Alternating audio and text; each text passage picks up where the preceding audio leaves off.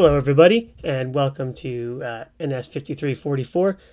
Uh, there's obviously no notes on this one. I figured since I'd asked everyone to make a little bit of an introduction, I would do one too. You know, fair is fair. So here's a tiny bit about me. Hi.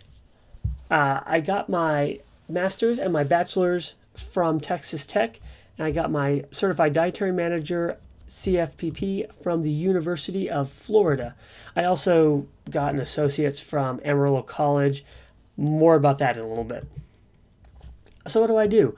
I work for Baptist Community Services, which is a continuum of care organization uh, focused on elder care. So, we work with everybody from uh, independent care to rehab. So, if somebody gets a knee injury and they need to work on that for physical therapy, that to long term care all the way to hospice care. Uh, I'm also the licensed dietitian for the Wesley Community Center, which is Amarillo's uh, senior congregate meal program center. Oh, I should mention that I, well, I said I am work for Baptist Community Services. I am the entire clinical nutrition care team, just me. That's it. Uh, so, how did I get? You know, where did I come from? Uh, I actually went to school uh, studied fine art and graphic design. I specifically worked on oil paints, and I got to the point when I was coming to my senior year that I realized I didn't want to do things that people wanted me to do, which is an alarming thing to be at that point. You know, to realize that at that point, I realized that point I was a fussy artist, and uh, it was going to be a difficult struggle for me. So, um, maybe you're wondering, how did I go? How did we get from art degree to, or almost art degree, to uh, dietitian? Well, it's my five simple steps and breakdown of how to take my career path if you ever thought that was a thing that you should do. So, like I said, I was coming up to my senior year in college for art, realizing that I was going to earn a degree that I was never probably going to use professionally, not at least full on. And I was getting married soon, which is an alarming kind of circumstance to be in. And I had a friend who said, uh, she was a kitchen manager. She said, I need people. Why don't you come work for me? And they'll give you some time to think about what you want to do and you know, earn some living money at the time. So I've, I had no other plans. So I became a dishwasher. And I was a dishwasher for a while at this facility. It was a, it was a long-term care facility and that was my first exposure to long-term care nutrition and elder patients in general beyond you know grandma. After working as a dishwasher i became a cook and i knew absolutely nothing about cooking when i started. Now i can do all that fun fancy stuff flip things in pans and, and i know how to do a julienne things and things like that mince them. I didn't then. Everything i learned i learned on the job. And i have i picked that picture very very very uh, what I guess on purpose. That's not we can't be very very on purpose, but you know what I mean. Because I have flambéed. That was another thing I learned how to do is how to flambe stuff. So after working as a cook for a while, um, I just said I went I through uh, I didn't go to Florida, but through the University of Florida, I got my certified dietary managers um, certification, and uh, that let me be a, a CDM if you have not worked with one before, is a bit like a diet tech who also knows how to budget for a restaurant. And so that background, a CDM works very closely with a dietitian for a long term care facility. So that got me exposure to working with the residents more and working with the dietitian. And I liked working with the residents and I got really curious about what the dietitian was doing. I wanted to know more about her angle on things. So I went to Amarillo College, as I said, and got my basics because, you know, an art degree doesn't have a lot of science focus to it. So I had to go back and get some core science courses. And then in my mid 30s, I went back to school. I went to Texas Tech and I felt exactly like this. And then did the whole thing, got my bachelor's, did the internship program, got my master's, and that brings us to here. Uh, I don't recommend this pathway for anybody, but it, it does work.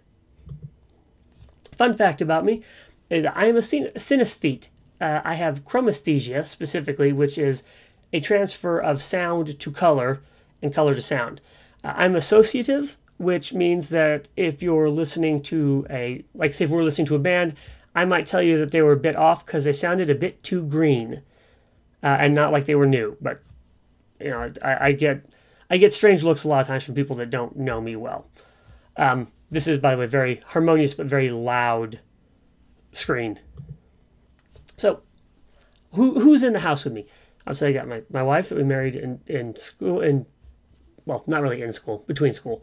Um, we have our dog, Sam. We have Iggy, who, if history is any, uh, if history is any guide, uh, he will be joining us for Zooms. We have Kitty, who is a retired show cat, and we have Gus, who is a babied foundling.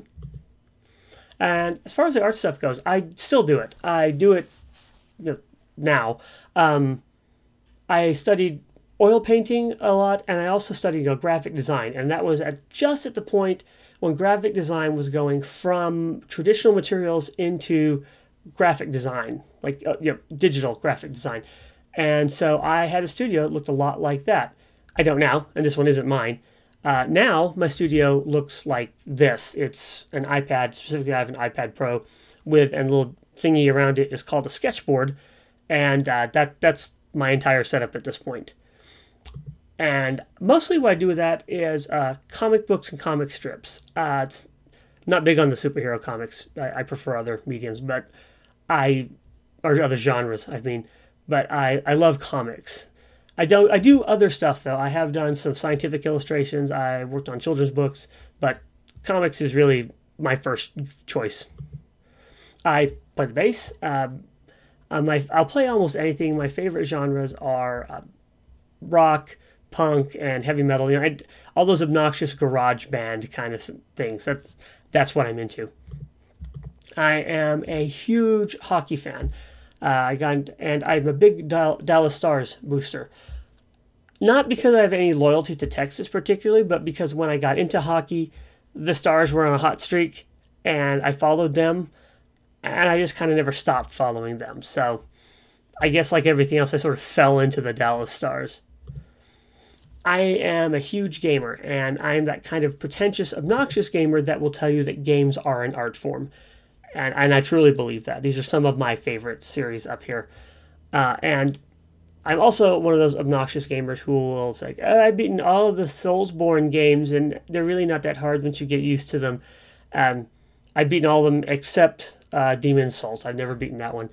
And uh, Bloodborne here has its own little special spot because that's probably based on the number of replays I've done my favorite game of all time. And I am a huge horror fan. I don't like uh, gore and things like slashers that much. I'm much more into suspense and creepiness.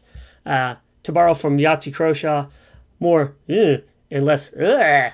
So, you know, not too much Friday the 13th or Saw, more like Silent Hill or uh, Shutter Island. So that is a bit about me, guys. I will see you later. I'm looking forward to a great semester. I do try to have a lot of fun with these. I enjoy doing this class and I appreciate having the opportunity to do it. I'll catch you all later. I'm looking forward to learning about you. Have a great one. Bye.